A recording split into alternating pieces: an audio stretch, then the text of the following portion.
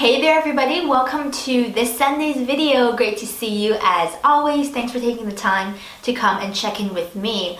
As I mentioned in my previous video, um, once in a while we're going to do these weekly check-ins and this happens to be one of those weeks when I don't have a proper, you know, set up, filmed video ready to go. We would just do a check-in, see what you're up to. I'll tell you about what I've been doing, uh, things I bought, of course, and things I'm into, things I'm working on, and just a general check-in, chit-chat, update, things like that. So if you want a snack, this is a good time to pause the video, go grab yourself a drink or a snack. I know that always helps when um, we're you know just hanging out. So I want to talk to you about a couple of beauty products that I bought, uh, some Sephora samples I redeemed some points for, one really beautiful PR package. Um, I've actually gotten a few PR packages, but I'm just going to show you this one for today. Um, and then we're going to talk about some of my sewing updates. Um, I don't have time to do a sew what now full, you know,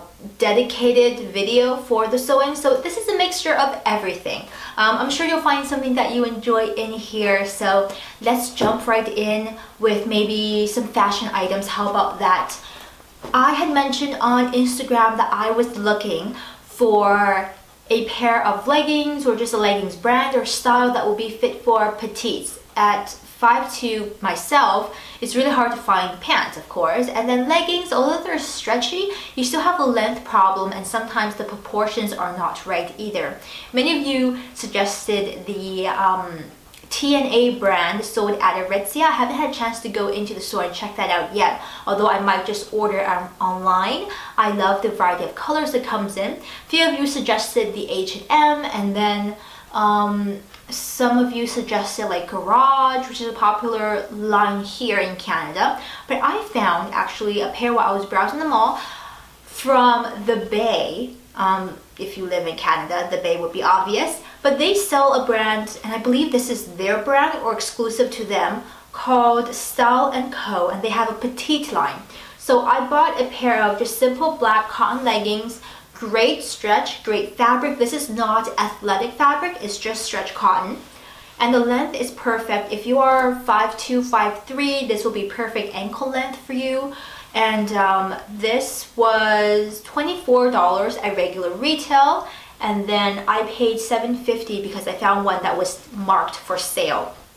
So I know you can't see the whole thing right now because I'm not far back enough, but if you are close to a bay or you want to order online in Canada, Style & Co, the regular petite leggings are beautiful and not terribly expensive. So that was a great find.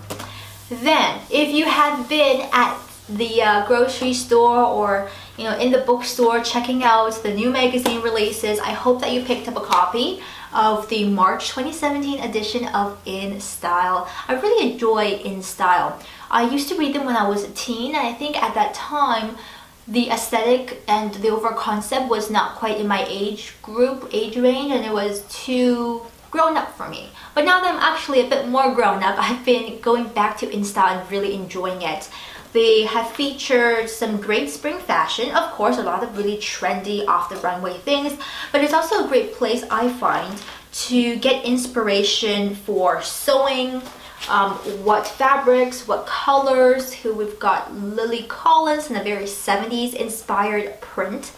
Um, yeah, so things like that and this issue not only does it cover the award show fashions hello but this is one of their transitional issues aka the spring issue they do a fall spring summer they may or may not do a winter issue where the issues are bigger and it's not a little you know dinky filler issue for $6.99 this is a substantial seasonal switch. So get a hold of this if you haven't already. Alright, now let's talk about some beauty products. Um, I had mentioned I was really into the Laura Mercier um, Mineral Powder Foundation in the pressed and I liked it but I wasn't crazy about the color because I was in between shades and didn't have that big of a color selection. And then it dawned on me that Bare Minerals is of course the most highly talked about loose mineral powder foundation ever essentially, and I've actually never tried Bare Minerals. So here we go. Bare Minerals. I picked up the original formula in the shade Fairly Light and Tan. They had a great color selection over in Sephora. It was only about 35 $36 Canadian, which I think given the current status of what beauty products go for, it's a very reasonable entry-level luxury price point um, for something like a foundation. So I got this, I have not used it yet, but I'm hoping it will be beautiful. I was watching, I want to say Shelly or Shelby something something I will link her down below in, in the information bar um, she does um, beauty tutorials and she's I think a makeup artist by trade, but she often uses Bare Minerals products and she recently did a video about how to make powder foundation look really natural because whenever she wears something like Bare Minerals, it looks so smooth and it looks like a liquid and she just kills it every time. So I watched that and really convinced me to give Bare Minerals a try. So if you've used it, you liked it, didn't like it, have something to share about it, would you leave me a comment in the comment section so I know as well and just get a little heads up? That would be great. Um, additionally, foundation, I've also got here and have been trying out and I'm wearing on my face today the Juice Beauty Phyto Pigments Foundation in the shade 08 Cream. Um, this came from a blogger friend of mine. Sometimes we swap products when our colors are not exactly the same. Like when I get something that's too dark or when she gets something that's too light, we'll swap and that's been really nice and I'm lucky to have someone like her. So we recently, she recently swapped me the um, Juice Beauty Foundation and I am so pleasantly surprised. Like I said, I'm wearing it today and if you like something like the MAC Face and Body but you wish it was matte, um, sorry, the MAC Face and Body and you wish it was matte, and you wish it had more coverage and you wish it was natural, natural, um, Juice Beauty, this might be the way to go. It has a very liquid consistency. It's a water-based foundation, but it dries down matte, not powdery per se, but matte on the skin and um, feels really lightweight. So have been really impressed by this Juice Beauty foundation I'm testing out. Additionally, um, I picked up a YSL lipstick. It's my very first one. I mentioned in my last anti-haul video about the Yves Saint Laurent um, oil in balm I think the new lipstick that was coming out that was super glossy it looked like a gloss but in a lipstick format so I saw it in the store. I swatched it. It was absolutely over underwhelming um, because it was just so sheer. It did not have the intensity that the promotional ads made it look like it did because it doesn't. So instead um, I went for the Yves Saint Laurent Rouge Volupte Shine lipstick in the shade 44 which is nude something. I will look it up and link everything in the information bar for you down below. It is also what I'm wearing on my lips today. I thought it's a very appropriate um, light makeup lipstick.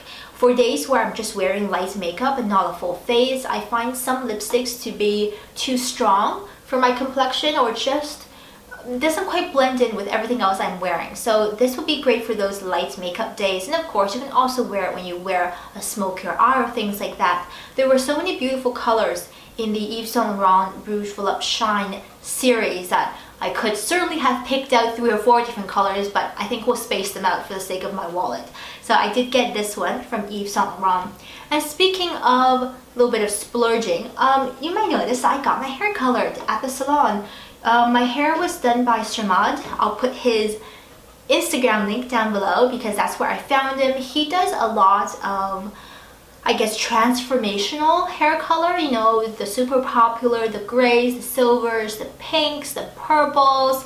Um, he's based here in Vancouver and I was really impressed by his transformations. Of course, being just me and um, you know, wanting to be more professional. I did not go for a super, let's say, bright or rainbow shade, but um, I think, you know, doing something that's natural and subtle also takes its own skill. Like it's, e in a way, you sometimes think when you do something really bold, the boldness of it almost shadows the skill so you can just slap on some red paint and call a day and say, you know, wow, look at this thing that I did. But to make something natural but pretty also takes um, a certain skill set. Did that make any sense? Did I just go off on a tangent all, all on my own? But what I'm trying to say is, like makeup, um, for hair, I think finding someone who will do hair really well and make it look natural but still pretty takes some work. And I was really impressed by his work on Instagram. So I called him up and I said, can you do my hair? And he gave me a really beautiful color, a very tiny bit of a trim. We didn't cut off too much. I'm trying to grow out some layers. But essentially, if this light will pick it up, um, we did a PC balayage and with beige tones because you know, we were talking and he was saying that a lot of Asians prefer to go really ashy to counteract the red and the copper and the brass that comes out when you bleach Asian hair or bleach dark hair in general.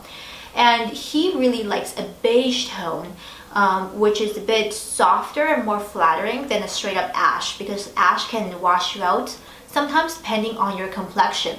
So this is what we went with. It is very subtle. If you can't see a lot, that's normal. Um, it shows up a bit more in natural light and in person obviously but I just love the blend. It's blended so nicely. All the top here is my natural color, so when it grows out, it'll just be rooty, um, and I won't have to touch up that often, although I think I might go back and see him in proper summer and we'll do like a fun color perhaps. So got my hair did, feeling really good about the hair.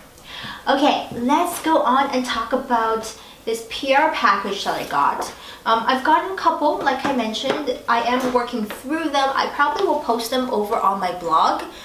But I just want to show you this lovely set from Rimmel, Canada. They recently sent over their matte lipstick collection. Um, a lot of the colors, I don't think this is all of the colors, but I loved that it's in a box. Um, and that is presented also with lip liner, which is kind of important sometimes. I am really looking forward to trying out, of course, you know, the more natural, pretty girly colors, but also they've included a lip liner in brown, and they've got a brown lipstick in here, like a brick, a brick red, deep chocolate, almost a chocolate tone, and I wonder how that will look on someone with my complexion, and what eye makeup I could wear with it, like that just sparked so many ideas in my head. And of course, there's a beautiful purple in there as well. The rest of the colors are fairly natural or neutral. Um, again, this is the matte collection. It's already out in stores. I have seen it. So if you are interested, check that out or wait around until I get a review or swatches up. They also sent along some eye makeup products in a little eyelash cosmetics bag, which is adorable, by the way. So their newer range of eyeshadow palettes from Rimmel. Can you see that? I might do a close-up for you and insert when I edit this video. So I've got three. Yeah, you probably can't see that right now. Three of the eyeshadow palettes. That's already in stores. I got some mascara. I also got a BB cream from them. Um, the BB cream mascara are part of their original line already. So the lipstick is kind of new and the palettes are kind of new. So since I have all of these from Rimmel, I was thinking I might do a one brand makeup look either on the blog or perhaps in the video. I'm hoping to do it for a video because it's more exciting and to see the makeup being applied in real time. So that's the PR package I wanted to show you. Lastly, I do want to update you on some sewing. Um, I decided to make a quilt because I came upon this absolutely adorable fabric design by Sarah Watts. It's limited edition. I got this shipped from Japan, um, but you could buy it from a number of retailers here in North America. It was just slightly cheaper actually what she was selling it for on Etsy. So I bought it from um, an Etsy shop. I'll link it down below as well if you're interested. It features kind of sleeping bunnies and sleeping bears and sleeping fish and bats. It's just so adorable. So I've decided to make a big stitch quilt, which is I guess hand quilting. It's not where you cut little triangles and squares and circles and piece them together because I do not have the dexterity for that. But I would love to use this beautiful uh, fabric panel. So what I think I'll do is I will do some hand quilting to attach the panel piece to the cotton batting, which I already bought off of Amazon, and uh, to the back piece. So I'll have a nice little quilt with these animals. I'm really excited about it. I've never quilted before. This could be disastrous, but you'll find out over on Instagram when I update you. Another thing is that I put down the money to buy a vintage sewing machine, which if you also follow me on Instagram, um, I managed to break the bobbin winder in the first uh, six hours I've had the machine. But the bobbin winder piece, the metal was kind of cracked already, so it's just one of those things that it's old. It's an old vintage sewing machine. Comes in a cabinet. Um, it is an Eaton's Viking sewing machine. Eaton's being the Canadian department store which no longer exists. Um, it used to be here when I first moved to Canada. I remember going to Eaton's when I was very young. You know, it was big and fancy and had a great toy section. And at the time, um, my machines from the 70s, at the time, they had machines made elsewhere and then imported them and slapped on a sticker and sold it as an Eaton's brand. So I bought it you know, a little bit for the Canadian history aspect and also I really wanted a vintage machine to sew my vintage patterns on and my vintage clothes.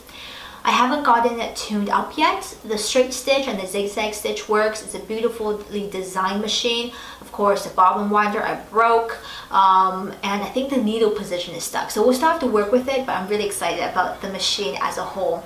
I paid about 60 bucks for it over on Craigslist and compared to others, um, that were for sale, I thought it was a pretty good deal. For my first vintage collectible, you know, something I could tinker with and play with and also sew with as well.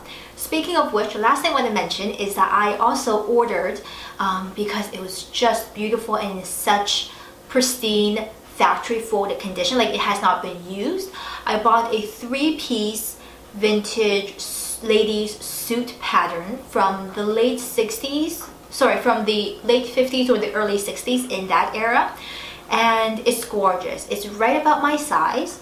Um, so I'm wondering if you would be interested in seeing a follow along as I make the three-piece suit because I really think I'm going to make all three pieces and of course I can always show you at the end when everything's finished but perhaps it might be more interesting and fun to get updates kind of on the progress of me making that. Um, so let me know if you would like that. It's not going to be a sew along because not everyone get a hold of this pattern and you know it's no longer produced.